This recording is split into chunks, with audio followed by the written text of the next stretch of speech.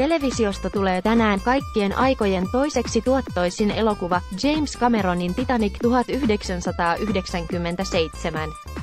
Nuoret Leonardo DiCaprion ja Kate Winsletin supertähdiksi nostanut epokki piti lipputulojen kärkipaikkaa aina vuoteen 2009, jolloin Cameronin uusi elokuva Avatar kiilasi kärkeen yli puolen miljardin dollarin erolla.